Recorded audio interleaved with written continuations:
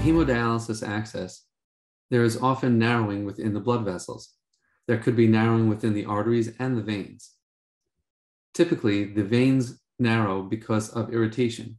It is a different entity than the narrowing in the cardiac vessels that you see with atherosclerosis or plaque.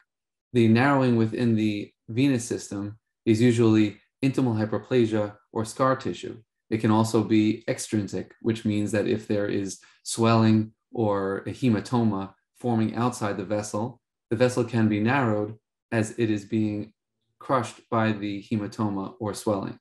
The venous system usually carries blood back to the heart in a low flow and low pressure system. After a fistula or graft is created, there is often a high flow or high pressure system that develops from the arterial flow.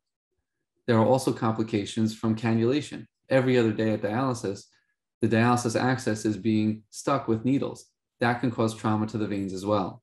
In a graft, where the surgeon connects the graft to the native vein, that area of suturing that the surgeon used to stitch the graft to the vein can also have scar tissue causing narrowing.